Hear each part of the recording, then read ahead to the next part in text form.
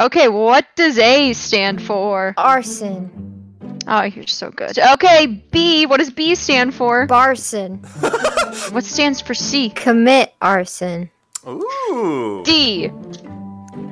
Don't come near me. I'm going to commit arson.